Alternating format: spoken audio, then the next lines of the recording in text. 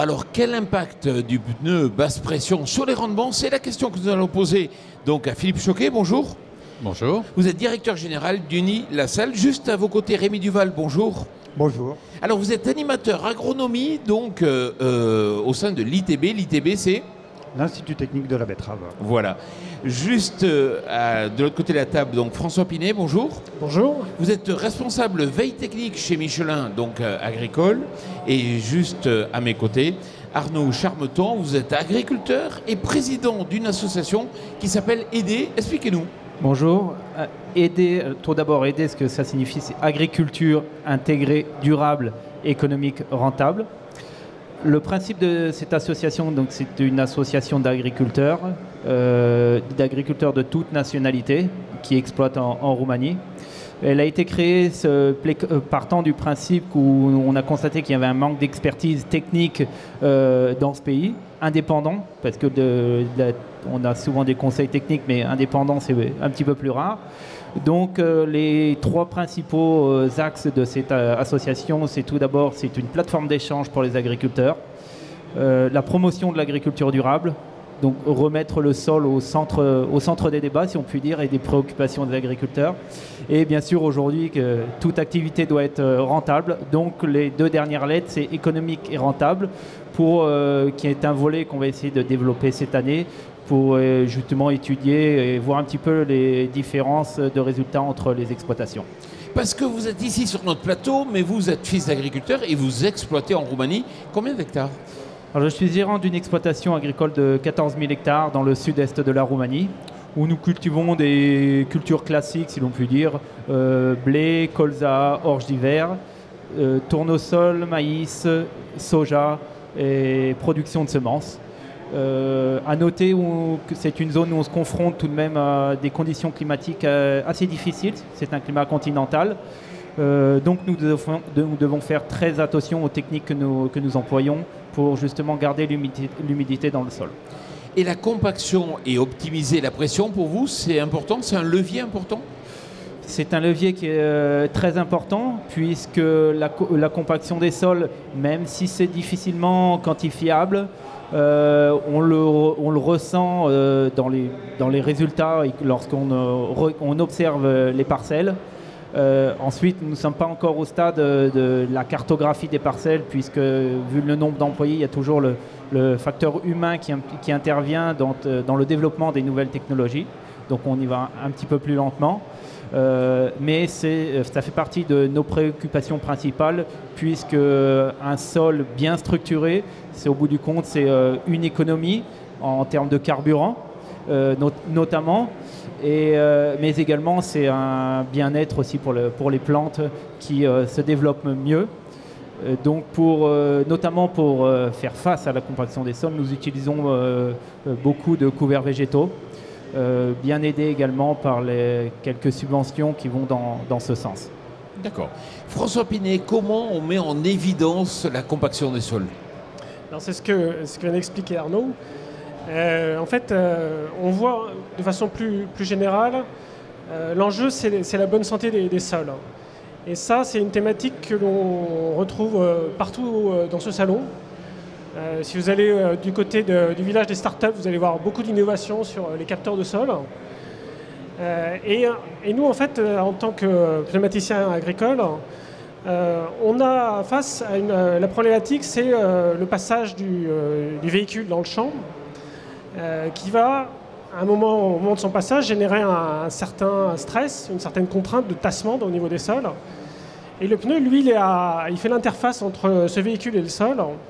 Et donc, il a un rôle à jouer pour euh, essayer de limiter, euh, par la qualité de son empreinte, par euh, essayer de descendre en pression, limiter cet impact euh, au moment du passage du véhicule.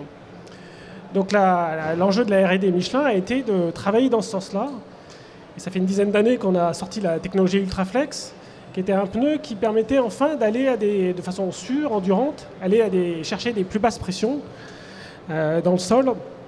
Et euh, donc à partir de cette technologie qu'on a déclinée sur tous les types de véhicules agricoles, euh, on peut, la, question qui, est demandée, c'est est-ce que, quelle différence ça fait réellement dans le sol?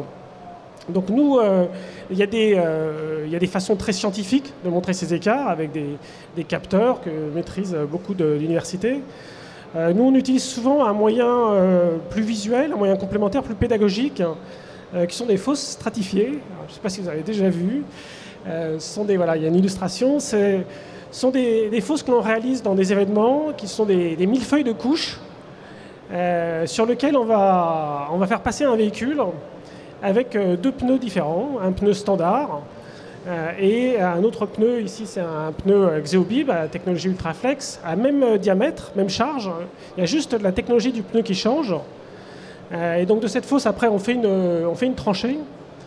Et, c'est très visuel parce que tout le monde peut descendre dans la tranchée, tout le monde peut regarder, observer et voir qu'il y a un impact au niveau de, euh, des différentes couches, que tout simplement, en ayant un, un, pneu qui est passé juste à côté de l'autre, on voit que le déplacement des couches est fait de, façon beaucoup plus sensible pour euh, le pneu standard. Parce qu'il y a différents types ou hauteurs, profondeurs de tassement. Voilà, alors là, là ce sont des, quand même des, fosses qui sont assez profondes. Bien sûr, le, plus on va, plus l'impact diminue, mais dans ces exemples, même en bas de la fosse, on continue à avoir un impact. Et donc c'est un, un, outil euh, considère, enfin, qu'on trouve très pédagogique, et c'est le retour que l'on a. Donc on, utilise facilement euh, en Europe, on l'utilise aussi au, Brésil, en Chine, en Russie, euh, pour euh, faire de la pédagogie sur l'impact de la compaction du sol. Philippe Choquet, votre métier c'est l'enseignement, vous êtes directeur général, donc je l'ai dit, du Nid-la-Salle. Est-ce que les étudiants sont sensibilisés à l'impact donc du tassement, du tassement sur les rendements? Ma réponse est oui, bien sûr, on a toujours enseigné l'agronomie et, les, enjeux des sols. Ceci étant, ces dernières années, on a renforcé cette dimension-là. Alors, grâce à la chaire que nous avons montée avec euh, Michelin et, Massé mais, mais aussi parce que le sol, c'est un enjeu et un, challenge de la révolution agronomique. Enjeu, deux chiffres 1,5 milliard d'hectares au niveau de la planète, 46% des sols ont perdu de leur potentiel agronomique, 33% des sols sont dégradés, 0,5% des sols sont définitivement perdus. Sachant que la population va augmenter, sachant qu'il va falloir produire plus, donc c'est un vrai facteur limitant, et il faut limiter la dégradation des sols, et là il y a un, véritable enjeu. Deuxième dimension, euh, on est à l'aube d'une révolution agronomique parce que le sol n'est plus considéré seulement comme un substrat, mais aussi comme un, lieu où il y a une vraie vie, hein, tout, tout, ce qui est vie microbiologique, et sur lequel on peut s'appuyer L'augmentation de la productivité demain avec moins d'intrants passera par une meilleure valorisation de ce potentiel de la vie micro-organique des sols qu'il faut respecter, qu'il faut développer. Et ça, ça passe aussi par euh, voilà, un moindre tassement, une meilleure compréhension de ce qui se passe. Parce que pourquoi y a-t-il un impact sur le tassement des sols, sur la productivité? C'est parce que, effectivement, euh, il y, y, a une approche physico-chimique, mais aussi toute l'approche vie organique des sols, enfin vie microbiologique. Rémi Duval, vous vous occupez de la betterave au sein de l'ITB. Alors la betterave, c'est à la fois une des causes du tassement et puis à la fois la racine peut en souffrir. Oui, alors effectivement, la betterave est une culture assez sensible au, tassement. On parle de productivité, mais euh, c'est surtout une sensibilité vis-à-vis de la qualité de la récolte en fait, qui, euh, peut être préoccupante parce que des zones tassées dans un sol, ça veut dire euh, un enracinement qui se fait moins bien, un pivot qui est déformé, ça génère de la tartère, ça génère de la, casse à la récolte. Donc effectivement, on n'aime pas trop le, on n'aime pas trop les tassements. Euh, après, euh, souvent effectivement, la betterave est plus génératrice de, euh, tassements qu'elle n'en est, qu'elle ne, les subit. En général, on, parle plutôt de système, c'est-à-dire qu'on est dans des systèmes où on a de la betterave, où on a d'autres cultures avec des récoltes tardives, des récoltes en conditions un petit peu, un petit peu défavorables, donc qui, en quelque sorte, euh, créer du tassement, mais l'entretiennent. Donc euh, il y, a cette question aussi au niveau des systèmes de, euh, savoir comment éviter qu'on génère et qu'on entretienne, on entretienne des tassements. Alors c'est vrai que c'est une question qui est aujourd'hui vraiment qui, monte en puissance quelque part dans notre filière parce que on est dans une évolution à la fois de, surface. Il y a une augmentation de surface qui est voulue par la filière betterave sucre qui est en train de se faire il y a aussi une volonté des industriels d'allonger les durées de campagne. Et tout ça va dans le sens euh, d'avoir des matériels qui vont euh, arracher des betteraves plus tardivement que ce que l'on fait aujourd'hui. Donc on va se retrouver dans des, dans des conditions d'arrachage qui seront sans doute un peu plus souvent défavorables, euh, donc potentiellement génératrices de tassement. Alors Arnaud Charmeton, est-ce que sur les 14 000 hectares que vous exploitez, vous arrivez à quantifier justement l'impact du tassement sur vos rendements? Nous, à notre échelle d'agriculteurs, on a du mal à quantifier euh, l'impact sur le rendement mais euh, tout de même, c'est une. Pour nous, en tant encore une fois, en tant qu'agriculteur, c'est une addition de petites choses. Euh, la pression des pneus, l'utilisation du GPS, tous ces petits détails ont amené en trois ans à diminuer la consommation de carburant de 15 litres par hectare sur nos exploitations. Donc, on ne peut pas attribuer ça uniquement à un seul phénomène, mais c'est une addition de, de, plusieurs petites choses qui font que les rendements augmentent tout doucement, malgré les conditions météo euh, difficiles. Et, donc, encore une fois, c'est une addition de petits détails, mais difficilement quantifiable à notre, à notre échelle. Est-ce que vous avez l'impression que les jeunes générations d'agriculteurs sont plus sensibles? Oui, bien sûr. après, je pense qu'on est, on est dans une autre époque maintenant. Avant, nos, parents, grands-parents, euh, l'objectif était de produire. Euh, on se préoccupait un petit peu moins du sol parce que le, principal euh, objectif était la production. Aujourd'hui, on a toujours besoin de produire, mais on se rend compte que, comme vous le disiez un petit peu plus tôt, le, le, sol, la surface agricole sur la planète, elle est limitée, même en diminution. La population est en augmentation. Euh, le solde maintenant est devenu quelque chose qui est, qui est le plus important parce qu'on n'a qu'une seule planète, même si on veut arriver sur, le, la Lune, mais on ne sait pas encore pour demain on arrivera à produire sur la Lune. Donc il faut en prendre soin. Euh, en plus, c'est un être vivant, donc euh, il faut en prendre d'autant plus soin puisque la réaction est d'autant plus longue. une erreur ou un impact sur le sol aujourd'hui, on va le payer encore pour les 3, 4, 5, 5 années suivantes. Donc il faut réfléchir à deux fois, euh, voire même plus, avant d'intervenir dans, des conditions euh, limites. François Pinet, tout à l'heure, vous avez bien montré qu'on était capable de visualiser donc l'impact du tassement. Est-ce qu'on sait le quantifier, cet impact?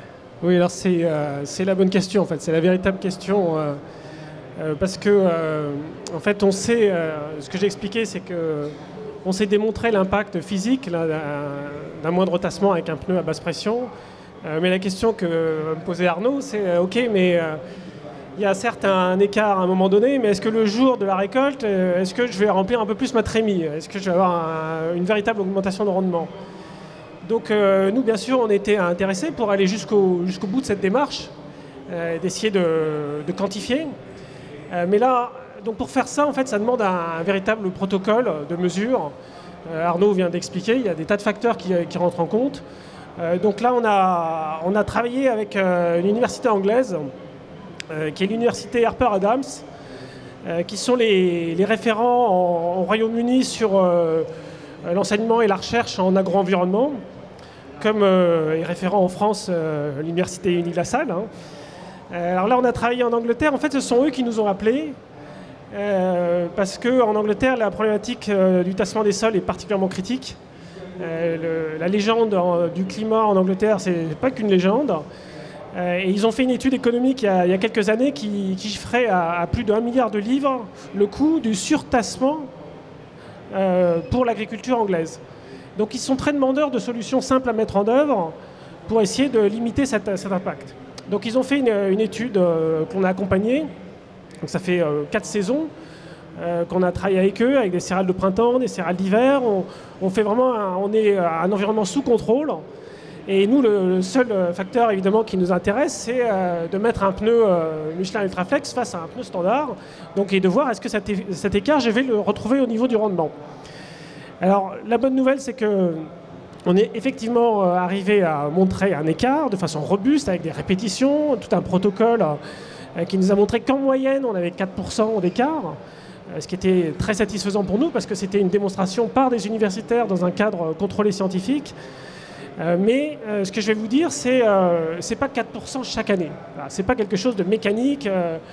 on a un, suivi qui se fait sur place, qui est un suivi très, très rigoureux, très longitudinal la, à partir du moment où les, véhicules passent sur les différents terrains. Euh, donc on suit, le, talage, on suit le développement racinaire, on, suit fait passer des drones. on constate toujours qu'au début, il y a un écart. L'écart du tassement, il est toujours là. Mais les années où euh, tout va bien, où il y a le bon soleil au bon moment, il y a la bonne pluie au bon moment, les bonnes températures, le sol va arriver à se régénérer et rattraper son écart pour faire des écarts qui sont parfois très faibles. Alors que les années, et ça c'est ma conviction, les années où il y a un stress, le sol reste humide, le sol va garder la mémoire du passage du tassement, et cette, et, cette mémoire que l'on va suivre, nous, avec nos drones, avec nos mesures dans le sol, elle va, se répercuter jusqu'au jour du rendement. Et là, on a des écarts de 2, 4, 6% qui nous amènent à, à cette moyenne. Voilà. Rémi Duval, est-ce qu'il existe des outils qui permettent justement d'éviter ce tassement, des outils d'aide à la décision? Avant de parler des outils, si je peux me permettre, je, voulais un petit peu réagir à ce qui avait été dit euh, juste avant. Je crois qu'il y a quand même une difficulté aujourd'hui à, sensibiliser les agriculteurs à ces questions de, tassement. Euh, parce que justement, je ne suis pas sûr qu'ils voient facilement les effets que ça peut avoir sur la productivité. Effectivement, selon les années, on, sait, hein, même c'est vrai pour la betterave, c'est vrai par rapport à l'enracinement de la betterave, euh, même s'il y a du compactage dans le sol, une année où les, conditions climatiques sont bonnes, euh, ça ne va pas se voir. Euh, il y a un autre facteur qui joue, c'est que quand on parle de choix de matériel, effectivement, on va, en tout cas dans les systèmes betteraviers, on, évolue vers des matériels qui sont plutôt plus lourds, mais les orientations vers ce type de matériel, elles sont liées avant tout à des, à des enjeux économiques. Et finalement, la question du tassement, elle vient un petit peu, elle est un peu mise en arrière-plan. Et en plus, il y a des questions qui peuvent se poser par rapport à, aux effets de tassement sur, euh, on va dire, plus la qualité des sols, le développement éventuellement de maladies euh, racinaires, choses comme ça, qui existent certainement, mais d'une part qu'on a du mal à, à évaluer. Et donc, du coup, vis-à-vis des agriculteurs, on a du mal à leur, euh, leur, expliquer des choses de façon très très claire. Donc je pense que c'est une difficulté.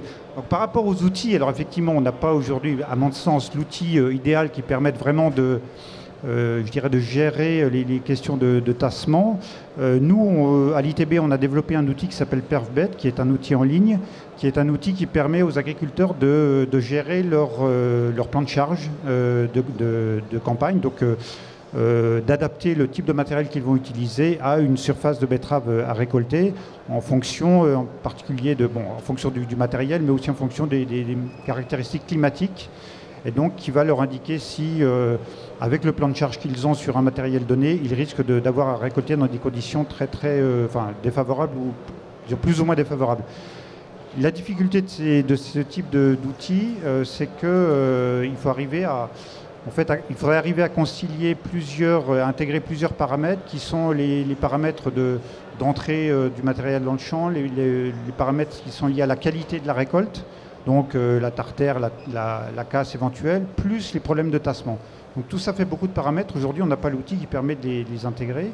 il y a un outil qui s'appelle Terranimo qu'on a commencé à utiliser, dont on, voilà, qu'on a, qu'on a un petit peu analysé et on essaie de voir dans quelle mesure ce type d'outil pourrait être euh, valorisé, pour être intégré dans des outils de type OAD, vraiment en particulier vis-à-vis des plans de charge, la gestion des plans de charge des machines.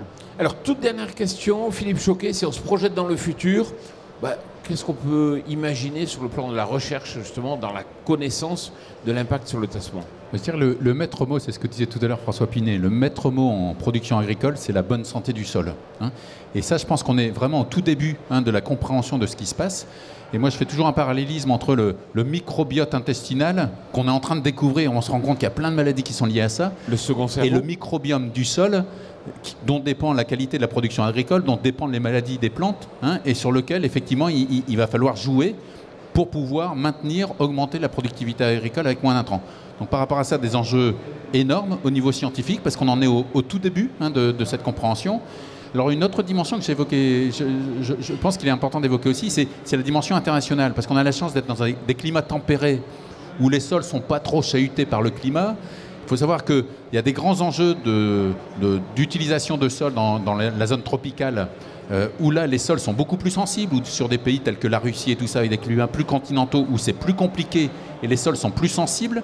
Et il ne faut pas oublier non plus euh, le changement climatique qui fera que quelquefois on sera obligé d'aller dans les, terres dans des conditions climatiques un peu extrêmes, trop secs, trop, trop humides, et que les sols seront maltraités à cause de ça. Et que donc tout ça, il faut l'anticiper. Meilleure sera notre connaissance des sols, meilleur on pourra avoir, on pourra avoir de bonnes technologies pour pouvoir euh, respecter ces sols, pour une agriculture durable respectueuse et économiquement rentable. Merci beaucoup, messieurs, d'être venus ici sur ce plateau débattre de cette question. Et puis, merci à vous.